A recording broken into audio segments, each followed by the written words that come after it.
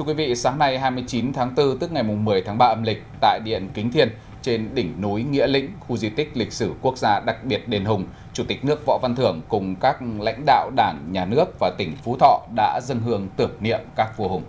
Tham dự đoàn lễ có các ủy viên Bộ Chính trị, Phó Chủ tịch Thường trực Quốc hội Trần Thanh Mẫn, Bộ trưởng Bộ Công an Tô Lâm, Chủ nhiệm Tổng cục Chính trị Quân đội Nhân dân Việt Nam Đại tướng Lương Cường, các bí thư Trung ương Đảng, Chủ tịch Ủy ban Trung ương Mặt trận Tổ quốc Việt Nam Đỗ Văn Chiến, trưởng ban dân vận Trung ương Bùi Thị Minh Hoài cùng lãnh đạo các tỉnh thành địa phương.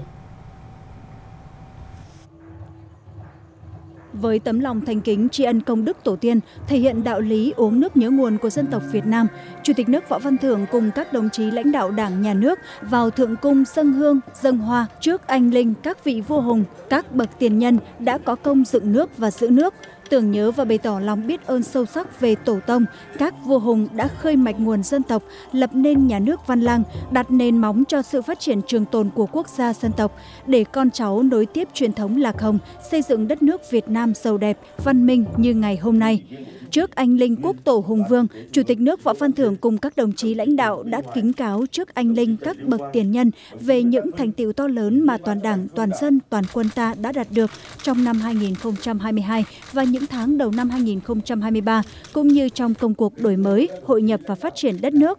con cháu Lạc Hồng nguyện mãi khắc ghi lời căn dặn của Chủ tịch Hồ Chí Minh, các vị vua hùng đã có công dựng nước, bác cháu ta phải cùng nhau giữ lấy nước. Cầu mong Thánh Tổ phù hộ cho xã tắc thịnh vượng, quốc thái dân an, bách gia trăm họ, vạn đại trường tồn, độ trì cho mưa thuận gió hòa, nhân khang, vật thịnh, cả nước vượt qua khó khăn, thách thức, thực hiện thắng lợi các mục tiêu nhiệm vụ đã đề ra con cháu lạc hồng trên khắp mọi miền đất nước, kiều bào ta ở nước ngoài luôn mạnh khỏe, bình an, vui hưởng, thái hòa.